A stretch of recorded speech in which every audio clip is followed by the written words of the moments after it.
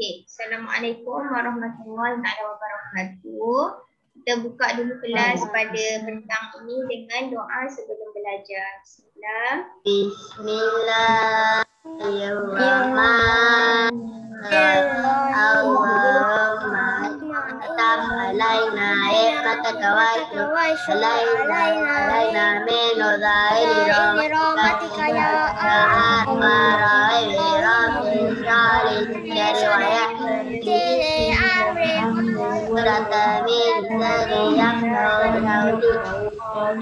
Rabbi zidni ilman وارزقني Amin. Okey. Uh, siapa yang rasa dia ada gangguan bunyi ke maksudnya sekitar dia bising ke apa boleh mutekan mikrofon okey. Okey, Kalau saya- bertanya soalan baru boleh angkat tangan jawab. Okey, kalau dia rasa tak bising tak apa boleh je buka mikrofon. Okey kelas, jadi hari ini uh, Mu'alimah nak habiskan dulu chapter 5. Um, ada sikit je lagi chapter 5 yang Mu'alimah nak habiskan sebab hari tu kita macam rushing kan kejar-kejar nak habiskan syllabus ni ada yang tertinggal lah, ada yang beberapa yang Mu'alimah tak sempat nak ajar lagi. Tapi hari ni um, hmm, tapi hari ni simple je dah pelajaran. Ha, lepas dah habis chapter 5 baru kita akan masuk chapter 6. Okay. Pada habis chapter 5 kita akan masuk chapter 6. Hari ni kita habiskan chapter 5 dulu. Okay, so now Chapter berapa? sekarang chapter 5. Okay, so now I want you to open your textbook page 48. Okay, buka buku teks muka surat 48. in uh, in the book or uh, workbook. Students book, students book page 48. Buka students Okay. book muka surat 48. Okay, yang ni this one. Page 48 yang 47, uh, 48 and 49. Ah, muka surat 48, 49. Yang ada kisah tentang traditional Japanese house. Okay. Dah buka? Have you open your textbook?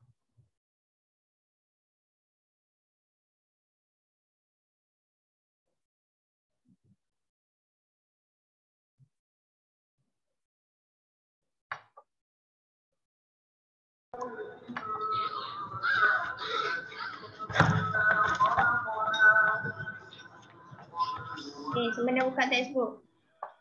Okay. Ah, Okay, very good. Okay, so in chapter 5, we have learned about house kan? Kita banyak be- belajar tentang rumah, apa yang ada dalam rumah, ah, bilik-bilik di dalam rumah. Hari tu exam pun masuk juga kan? Surat mana mana? ah, Muka surat 48, Falisha. 48. Itu students nampak pula lapan.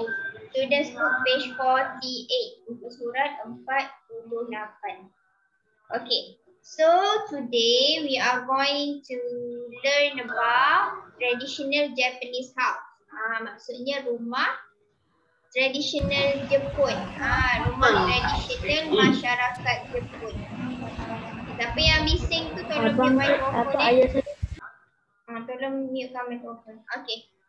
Traditional Japanese house. Okay, kalau kita biasa tengok TV cerita Jepun ke kan, kita akan perhatikan rumah-rumah Jepun ni dia berbeza sikit kan dengan rumah-rumah dekat negara Macam kita. Doraemon. Ha, cerita Doraemon contohnya. Ya, betul lah. Tengok cerita Doraemon, cerita Shinchan. Shinchan, tu. Ha, awak akan tengok biasanya rumah-rumah di Jepun ni ada berbeza sikit kan dengan rumah-rumah di Malaysia.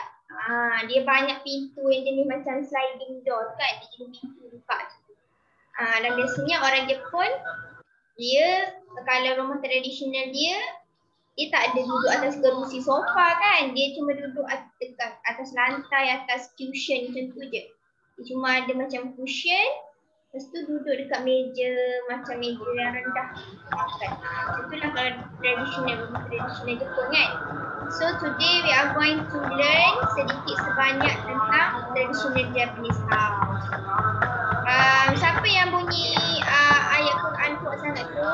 Dia boleh tolong mute Saya. mikrofon. Okay, mute mikrofon dulu Ishan. Ha. Okay. Bagus je pasang ayat Quran tapi sekarang kita tengah belajar kan takut mengganggu kawan-kawan awak pula nak dengar. Okay.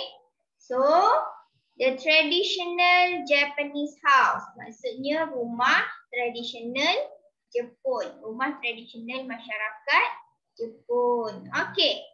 So look at picture number one. Ha, look at the first picture. Dia terangkan tentang apa tu. Okay, siapa nak baca? Maknanya dah lama tak dengar awak membaca kan? Okay. Okay, Farisha nak baca. Okay. Okay, Farisha. Uh, Farisha read the first. Uh, Farisha read the first sentence. Ayat yang pertama dekat gambar yang pertama ni. Okay, this one. This is. Okay, cuba Farisha baca. Okay. Hmm. He is a traditional. Apa tu? Japanese. Japanese Japanese house. with a garden. Garden. Okay, thank you Farisha. Garden. Okay, so Farisha baca tadi, this is a traditional Japanese house with a garden. Kita dah belajar kan garden maksudnya apa? Garden? G-A-R-D-E-N. What is the meaning of garden? Taman. Taman atau kebun kan? Biasa kalau traditional Japanese house, dia akan ada laman atau taman yang luas kat depan rumah ke, belakang rumah ke kan? Kalau kita biasa kat Jepun tu kita tengok banyak pokok-pokok apa? Pokok sakura kan yang macam apa? Bunga dia daun dia warna-warna pink ni kan? Cantik. Warna putih. Ah, putih ada, ni warna pink. Ah, okay. Jadi dia kata this is this is merujuk kepada ini ialah ah, kalau this T H I S ni maksudnya ini. Okay? T H I S maksudnya ini. Ini ialah rumah tradisional Jepun dengan sebuah laman atau dengan sebuah taman di depan rumah tu. Ha. Jadi dia tunjuk satu uh, rumah tradisional Jepun. Okay. Ingat kalau dia cakap this ni, this kat sini merujuk kepada ini. Okay. T-H-I-S ni merujuk kepada ini. This one kan. Ini, ini. Kena tahu beza di antara ini atau itu. Hari ni fokus Mak nak ajar beza ini dan itu. So ayat yang pertama ni dia guna this is. Ini ialah. Okay maksudnya ini ialah. Okay thank you Farisha. Okay now look at the second picture. Gambar apa yang ditunjuk ni? Gambar? Ha, second picture ni Slippers. gambar apa? Slippers kan? Okay. Uh, okay. Um, who wants to read the second picture? Okay, Umar Qayyum. Okay, Umar Qayyum, can you please read uh, the second picture, the second uh, sentence? The second People and third. name- ah, People never wear shoes in Japan's Japanese. Japanese. Japanese house. Hmm. They wear slippers. Okay, thank you Umar Qayyum. Okay, jadi Umar baca tadi maksudnya people never wear shoes. Okay, biasanya dalam rumah tradisional Jepun, orang-orang tak pakai kasut dalam rumah macam negara kita juga kan. Kita tak pakai kasut dalam rumah. Tapi ada dekat negara macam uh, dekat US ke UK ke ada yang pakai kasut dalam rumah kan. So people never wear shoes in Japanese houses. Ah, dekat Jepun orang tak pakai kasut dalam rumah tapi they wear slippers. Ah, mereka pakai selipar ni, selipar dalam rumah ni kan. Biasa kita Jepun kadang-kadang ada juga yang pakai selipar macam ni kat rumah kan. Selipar yang jenis lembut, yang sarung ni. Kadang ada yang gambar kartun lah, yang bulu-bulu lah kan. terbang. Ah. Ha, kan macam-macam kan. So ada juga kita pun pakai selipar macam ni dalam rumah. Okay. So ni dekat Jepun pun macam ni. Ha, biasanya bila sampai kat rumah kalau awak tengok cerita Doraemon kan. Nobita biasa dia balik rumah tu dia akan buang kasut dia. Dia akan letak dekat luar. ha, Dekat maksudnya tak bawa masuk dalam rumah. Lepas tu dia akan nak masuk dalam rumah mesti dia pakai selipar ni dulu kan. Dia akan pakai selipar bila masuk dalam rumah. Okay. So number three, look at picture number three. So who wants to read the the third picture? Saya, saya, saya. Okay, Irshad. Okay. Okay, There Irshad. are there are a lot of pa- paper doll in Jap- Jap- Japanese house. There is one big room with mats on the floor. A low table, people sit on the cushion. Cushion. This cushion. Hmm. This room is the living room and the dining room too. Okay, thank you Irsyad. Okay, apa yang Irsyad baca tadi tu? Ha, okay, dia terangkan kalau dekat dalam rumah je, tradisional Jepun biasanya ada apa? Okay, dia kata there are, okay, there are kat sini mak rujuk kepada terdapat banyak. Ha, kalau there is, satu je. Is kan merujuk kepada singular kan? Kalau there is, ada satu je, terdapat satu je. Tapi kalau there are, dia merujuk kepada terdapat banyak. Ah, there are untuk merujuk kepada banyak.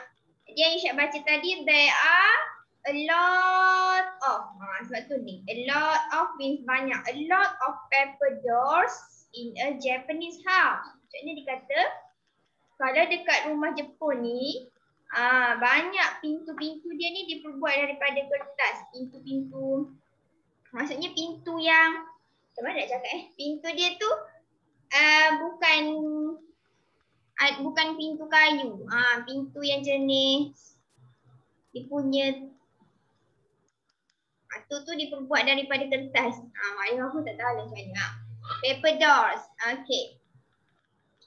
Dan there is ah there is ni mak lima kata tadi untuk satu kan merujuk kepada satu. There is terdapat apa? There is one. Ah, sebab tu diguna there is sebab ada satu je. There is one big room with mats on the floor and a low table. Ah, yang ni Mak kata tadi. Biasanya ah, orang Jepun ni dia akan ada satu bilik yang besar. Ah, lepas tu ada mats. Mats ni tika. Kemudian tika dia akan hampar dekat atas lantai and a low table. Low table maksudnya meja yang rendah. Tengok macam gambar ditunjukkan, meja yang rendah. Ah, sebab biasa orang Jepun dia tak duduk atas kerusi kalau kalau rumah tradisional Jepun dia duduk atas uh, cushion je kan. Ah, sebab tu dia duduk atas meja yang rendah tu kalau dia nak makan kan. Ah, so dia makan di uh, meja yang rendah, a low table. Ah, people sit on cushions. Ah, dia kata orang-orang akan duduk di atas cushion tu. Bukan atas kerusi. Sebab tu dia guna meja yang rendah. So dia kata this room is the living room and the dining room too. Ah, maksudnya biasanya bilik ni dia dua dalam satu. Ah, fungsi dia. Fungsi dia sebagai living room dan juga sebagai dining room. Ah, bilik yang besar ni yang biasanya orang duduk ni satu untuk sebagai ruang tamu, maksudnya kalau ada tetamu datang pun dia akan duduk kat sini ataupun boleh juga jadi dining room, bilik makan. Ah, maksudnya mereka makan kat sini dan di sini jugalah mereka punya ruang tamu. Ah, two in one, okay? Two in one. Dan kalau awak tengok cerita kartun cerita Nobita kan biasa kalau mereka makan kan ada juga mereka makan ramai-ramai di atas cushion kan. Tapi ada juga dia makan kat dapur ni kan. Tapi ada juga dia makan kat sini dan kalau ada tamu datang ke dekat ruang tamu ah, dia akan duduk kat sini sambil tengok TV kadang-kadang kan. Ha, okay. And then the fourth picture, okay gambar yang keempat ni, okay orang lain nak baca. Saya. Hmm, siapa belum baca lagi? Mak Halimah Ah, Mariam, ya. Yeah. nak bagi tandas. Ha, sila sila sila. Tandas. Sila sila. Okay, kalau nak pergi tandas silakan. Okay, Mariam Anissa baca uh, gambar yang keempat. At night, Hmm. this room becomes the bedroom. Hmm. They put the table near the walls and make bed on the mat. Okay, thank you Maria. Okay. Ah, tadi Pak Limah kata bilik ni dia dua dalam satu. Dia jadi ruang tamu dan juga bilik makan kan? Tapi dia kata kat sini bila waktu malam, at night, pada waktu malam, this room becomes the bedroom. Ah, bilik yang besar ni yang tadi di- digunakan sebagai ruang tamu dan juga bilik makan ni, dia akan bertukar je bertukar pula. Mereka akan gunakan sebagai bilik tidur pula. Ah, this room becomes the bedroom. They put the table near the walls and make beds on the mats. Ah, maksudnya pada waktu malam mereka akan alihkan meja tadi tu, meja rendah yang mereka guna untuk makan tadi tu, mereka akan alihkan berdekatan dengan dinding. Alihkan ke tepi dinding. tepi. Ha, letak kat tepi kan sebab nak tidur kat tengah. Dan mereka akan hamparkan tilam, make bed. Maksudnya sediakan, ha, sediakan tempat tidur di atas tikar yang ada tadi tu. Kan kat situ memang ada tikar kan. Ha, jadi di- mereka alihkan meja, kemudian hampar tilam dan tidur kat situ. Okey. Tilam. Okay, inilah traditional Japanese house. Kadang-kadang kalau rumah traditional Jepun yang betul-betul traditional, rumah dia kecil je. Sebab itulah di satu bilik tu jadi ruang tamu, lepas tu boleh jadi bilik makan dan malam jadi bilik tidur. Ah, dia jadi three in one. Mereka akan gunakan ruang tu dengan sebaiknya. Ah, jadi rumahnya kecil sahaja tapi boleh guna untuk semua. Ah. Okay. Alimah, Ya. Pergi minum air? Ya, ya, sila, sila. Okay. So, ah tu adalah kisah tentang traditional Japanese house. Kalau dekat rumah kita dekat Malaysia ni, uh, bilik ruang tamu yang lain, bilik makan dekat lain, bilik tidur lain pula kan. Kita tak sekali kan kalau dekat Jepun traditional house dia macam tu. Ah, sekejap digunakan sebagai ruang tamu, sekejap jadi bilik tidur, ah, macam tu. Alimah, Ya. pergi tandas. Sila-sila. Pergilah. Okay, siapa yang nak pergi tandas tak perlu minta izin tak apa. Mak Limah izinkan. Siapa nak pergi tandas tak perlu bunyi suara pergi je tandas. Okay? Ha. Hmm, pergi je tandas. Tak apa tak apa. Mak Limah izinkan. Okay. So, so now we are going to uh, look at the next uh, the next page. Tengok muka surat 49 tu. Okay. Yang atas sekali tu dia ada dua perbezaan. Ha, dia ada tunjuk perbezaan di antara there is dan juga there there are. Okey, tadi Mali ada bagi tahu kan, there is merujuk kepada kalau nak menerangkan tentang satu objek atau satu benda sahaja. Contoh ayat, there is one big room. Maksudnya terdapat satu je terdapat satu bilik yang besar. Ah, jadi kalau awak nak cerita tentang kat situ ada satu benda sahaja awak kena guna there is. Ah, there is terdapat kan. Tapi kalau awak nak cerita tentang ada banyak dalam dalam contohnya dalam rumah awak tu ada banyak benda ke dekat satu awak nak cerita tentang objek yang banyak bukannya satu awak kena sebut there Ah, terdapat banyak pintu-pintu kertas. Ah, Yours Okay. mine, hers. Yours awak punya. His Ha. Dia punya. Tapi so kena tahu bezakan di antara is dan juga are. Ingat is is for singular untuk satu. Ah, kalau are untuk ba banyak merujuk kepada plural, banyak. Okay? Okay, so now apa yang Mak Limah nak kita buat? Okay, uh, now open your workbook. Okay, you have your workbook, right? Ya. I have it. Mana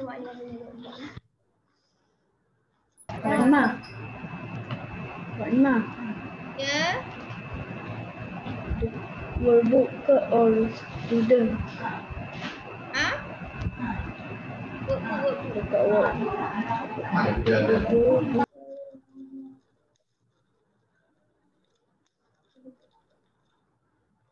Eh, mana buka workbook? Ha, okey. So open your workbook page 36. Okay, sekarang buka workbook awak untuk surat 36. Workbook buku latihan awak tu, surat 36. Workbook page 40, eh 36. Workbook page 36. Okay dah, semua dah buka workbook untuk surat 36. Ah, Okay, awak dah buat ke belum ke surat ni? Belum eh? Sebelum ni maklimah ada bagi tahu kan untuk chapter 1 sampai chapter 5 boleh habiskan je tapi kalau awak belum buat tak apa. Yang dah buat uh, very good. Kalau yang belum buat tak apa kita discuss sama-sama okay? So everyone have you open your workbook page 36? Dah? Iman Safiya dah ke? Dah. Afi dah ke Afi? Mana? Surat mana? Tiga puluh enam. Tiga puluh enam. Okay. Ah, So, look at activity number one. Ah, page 36, look at activity number one. Arahan dia adalah read, draw and color. Ah, dikata baca, lukis dan kemudian warnakan. Ah, jadi warna ni tak payah warna sekarang. Mana-mana awak buat kat rumah. Tapi kita baca sama-sama dulu cerita ataupun petikan dekat sebelah gambar tu. Okay, Hafi Haris. Hafi Haris, can you please read the first sentence? Hafi, boleh tak bacakan ayat yang pertama ni sampai sini, sampai titik. Mana? Ni, muka surat 36 baca ayat yang pertama. Activity 1 ni baca ayat yang pertama. Okay, boleh. Baca, baca. Hmm. The The wall, the walls hmm. of the of the house are yellow. Okay, very good. So apa maksud ayat tu? What is the meaning of the sentence? The walls of the house are yellow. Maksudnya apa Hafi? Walls tu apa? Dulu kala kali. Walls tu Colour maksudnya apa? Yelah, walls ni what is the meaning of walls? Apa maksud walls? W-A-L-L-S. Dinding. Di? Dinding. Dinding. Ya, terima kasih siapa yang menjawab tu. Walls maksudnya dinding. Ha, siapa yang tak tahu walls tu apa, tulis dekat perkataan walls tu. Okay, so dia kata dinding-dinding rumah berwarna kuning. The walls of the house are yellow. Dinding-dinding rumah berwarna kuning. Okay, jadi nanti awak boleh warnakan dinding rumah ni. Awak cari ada mana satu dinding kan. Awak kena warnakan dinding rumah ni dengan warna kuning. Okay, jangan warna sekarang, nanti baru buat. Sekarang kita baca dulu. Okay, Akila Hana, read the second sentence. Akila, baca ayat yang kedua. There is There is a brown mat in front of the door. Okay, thank you. Jadi buat apa maksud ayat tu Akila? There is a brown mat in front of the door. Maksudnya apa? Apa maksud ayat tu? Ha. Dia dapat apa? Kapet warna coklat. Ya, ha, orang lain pula jadi Akilah. Okay. So, ayat dia dia bagi tahu terdapat ah se kapet apa dalam bahasa Melayu? Guna apa penjuru bilangan untuk kapet? Terdapat Sehelai. se, sehelai ke? Sehelai. Ya ke sehelai kapet? Bukan, bukan. Maknanya Afnan betul ke sehelai kapet? Ada. Sebidang. Tengah. Terdapat Dah lipat kapet. sebidang karpet di depan di hadapan pintu. Mana karpet Ah. depan pintu? Ada ke karpet depan pintu? This one right. Tu, tu, tu. Kata dekat depan pintu Mm, ada mm, mm, mm, sebidang karpet berwarna coklat. Nanti awak kena warnakan karpet tu dengan warna coklat eh, bukan warna lain. Okay, warna coklat. Okay? Thank you. Okay, last one. Ahmad Darwish, baca ayat yang kedua pula. Ah. Ah, korang semua tutup mute. Saya tak dengar. Memang macam Baca yang mana? Suara dia. Ini Ama yang ketiga Ama. In the Yang ayat yang ketiga ni in the In the garden, Hmm. there is a tap. There Garden is, bacanya. A there is a tap, table. table And four, four chairs. chairs. Bukan chair. Chairs. Chairs. Ah, siapa gelakkan orang tak baik Wise, wise, wise. Wise, wise. Ah, Chairs, bukan cares. Kita kalau Suruh kita pandai, kita tak boleh gelakkan orang. Kita kena buat apa kalau kawan tak pandai? Ajar. Bahan Kita awak. ajarlah, kita bantu bukan kita gelakkan. Tak baik kita gelakkan orang. Ha, nanti Allah balas nanti. Bagi tahu. Ah, jangan gelakkan Kalau orang tak tak baik, okey? Okay, thank you Amma. Sekurang-kurangnya Amma dia berusaha untuk baca dengan betul. Ah, dia usaha sendiri. Okay, thank you Amma. Jadi ayat yang Amma baca tadi, in the garden maksudnya di dalam taman atau di dalam kebun terdapat sebuah meja dan empat buah kerusi. Ada ke kat sini? Mana kerusi? Ada tak kerusi dengan meja kat sini? Ada. Mana? Ada kat belakang. Ah, ya dah tu. Jadi kalau tak ada, awak kena buat apa? Kena duduk. Arahan soalan dia. Read, draw and colour. Okay, kalau tadi walls ada, dinding rumah ada. Yang kedua, uh, mat, mat ada. Jadi sekarang ni table dengan empat kerusi tak ada. Jadi apa yang awak kena buat adalah awak kena lukis lah. Sebab arahan Agak dah. soalan, ah, baca, lukis dan warnakan. Jadi arahan dia, awak kena lukis. Ah, siapa yang gangguan bunyi, kita kena mute. Um, garden tu apa Okay, garden maksudnya kebun. Taman yang macam Okey, jadi ni lah, yang ada ah, pohon. ah, halaman ataupun laman apa panggil laman rumah. Jadi ni ada pokok-pokok banyak ni kan. Ah, Colour dia apa? Okey, warna laman. Laman ni biasanya warna hijau lah. Ah, ni kan pokok ni. Okey, jadi awak kena lukis kat sini lah. Okey, kat laman ni lukis sebuah meja dan Garden tu. Garden mana?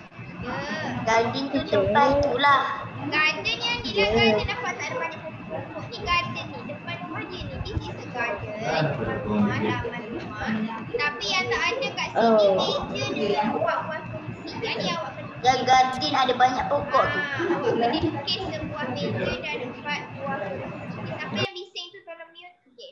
kena lukis kat sini. Sebuah meja awak lukis kemudian lukis empat buah kerusi dekat sekeliling meja okay Ha, warna apa dia tak bagi tahu. So bebas nak warna apa. Yang dia bagi tahu cuma warna dinding rumah warna kuning dan warna mat dekat depan pintu warna coklat. Yang lain bebas lah nak warna apa. Okay? So that is the first Okay. activity. Okay, nanti buat kat rumah. Okay, now look at the second activity yang bawah tu. Okay, arahan dia adalah look, find the differences and write. Jadi apa arahan soalan ni? Dia kata apa? Look, lihat. Lihat kedua-dua gambar, picture A and picture B Yeah. and find the differences. Apa maksud find the differences? Cari per persamaan perbezaan. ke? Persamaan, ya? Yeah? Persamaan, perbezaan. Eh, perbezaan. Perbezaan. Cari Perbezaan. di antara dua gambar kemudian tulis pada ruangan yang disediakan. Ah, Okey. Okay, so now kita buat sama-sama, okay? Kita pergi sekali lalu. Okay. Now, look at the first ayat pertama yang dia dah bagi. The walls are yellow. Ah, Ni perbezaan pertama. Nampak tak perbezaan warna dinding? Dinding ni warna kuning. Yang ni warna orange kan? So, ayat yang pertama dia dah bagi jawapan. The walls are yellow. The walls are orange. Ah, jadi tulis macam tu. Okey, ayat yang kedua dia bagi there is one sofa. Okey, gambar picture A ada satu sofa. So picture B ada berapa sofa? Cuba tengok ada berapa sofa in picture B? Dua. Ah, so macam mana nak tulis? There is or there are? There are. Ah, very good. Sebab ada dua maknimah kata kalau banyak lebih daripada satu kena guna there are. So ayatnya adalah Muka surat berapa? Ya ilaha illallah. Muka Surat 36. There are two sofas. Ah, sebabkan sofa ada banyak jadi awak kena guna S. Kena tulis S kat belakang sofa tu kena ada S because sofa satu sofa kalau dua sofa maksudnya lebih daripada satu so you must put an S. Kena letak S. So jawapan untuk nombor dua ni adalah there are ni kena pinang pula. There are two sofas. Terdapat dua sofa. Ah, tu jawapan untuk soalan nombor dua. Okey. Kita ada lima minit lagi. Okey, look at apa lagi perbezaan dalam gambar ni. Cuba perhatikan apa perbezaan gambar dua ni. Cuba tengok dekat Bawah meja. L. Eh, kerusi yang warna hijau tu kita panggil apa tu? Uh, chairs. Maybe. Ah, chair. Uh, Kurang tepat. Awak belajar apa? Kurang tepat. um, forget. Kena tambah perkataan apa? Ah? Armchair. Yeah, very good. Armchair. Sebab apa? Sebab Ah. ada tempat letak tangan kan? Alright. Ah, ada tempat letak tangan, kita panggil armchair. Kerusi yang ada tempat letak tangan tu. Okay, so how to write? Okay, look at picture A. Ada berapa armchair? There are Ada two armchairs. Ah, very good. Okay, so ayat untuk yang ketiga kita terangkan tentang armchair. There are two armchairs. Kenapa kena ada S? Why? Because ada dua. Bila lebih daripada satu, so kena letak S di belakang untuk menunjuk kepada ba banyak. So the answer must be there are two armchairs. There are two armchairs the answer. Okay, ni adalah untuk yang ketiga kita terangkan. Ya. Minum air. Ya, maknanya kata nak minum air silakan. Okey. Okey, jadi bila gambar A ada satu, A ada dua armchair, gambar B ada berapa armchairs? How many armchair? There are? There is one arm. There are or there is? There are two. Ah, There is. there is There is one one armchair. armchair. Ada S ke tak ada S? Ada. Ada sebab ada satu je. So sebab ada satu je armchair so kita tak payah letak S. So there is one armchair. Jawapan dia. Ha. Okay so kita dah jumpa lagi satu perbezaan gambar ni. Okay apa lagi perbezaan di antara dua gambar ni? Slippers. Ha slippers. Where is the slippers? Okay under the table tu kan ada. Okay gambar yang pertama ada berapa slippers? There are two slippers. There are Two slippers. ah there are two Slippers. Slippers. Ah, okay. There are two slippers. Ataupun sepasang pun boleh tapi tak pergi sebut dua lah. There are two slippers. Or there are Okay, there is a pair of slippers pun betul juga letaklah guna there are. Okay, there are two slippers. So picture B ada berapa je slipper tu? There is or there are? One. There is slipper. one slipper. Ah, sebab tak sebab ada satu jadi tak perlu letak S. There is one slipper, bukan slippers. Ah, sebab ada satu je. Okay, so this is the answer for number four. Apa lagi perbezaan? Ada lagi ke perbezaan gambar ni? Apa lagi? Below. Ha. Below. What? Below. Pillow. Ah, yes, very good. Okay, tengok pada gambar. Pillow tu, bantal di atas kerusi. Apa perbezaan dia? Hmm, jelas. Kanan dengan kiri. Ah, Right, kanan left. dengan right and left. No, no, no. Sekarang kita tengok Ah. perbezaan bilangan saja. Kita tak payah tengok kanan ke kiri ke tak apa. Pillow yang atas Hmm. armchair tu sama je kan? Gambar satu ada satu, gambar dua pun ada Ah. satu je. So perhatikan Ah. pillow yang atas sofa tu. Ni this one, pillow yang warna purple ni. Gambar yang pertama ada tiga. Gambar yang kedua ada tak pillow atas sofa? No. No, Ah. kan? No. Ah, tak ada, tak ada pillow atas sofa. So how to write the sentence? There are three. Ada tiga kan? Three pillows on the sofa. Ah, kena ayat dipandang sikit sebab kita nak tunjuk pillow yang di atas sofa sahaja. There are three pillows on the sofa. Ada tiga bantal di atas sofa warna pink tu. Okay, so ayat untuk B ada tak sofa? Ya, ada tak sofa. Ada tak pillow? No. No. So no ayat pillow. untuk nombor lima. There is No. Pillow. no ah pillow on the sofa. Ataupun yang kita dah belajar tapi yang tak dapat. Awak boleh juga tulis there isn't ah yang ni ah ni yang dah dapat belajar ni. There isn't any pillow on the sofa. Okay, boleh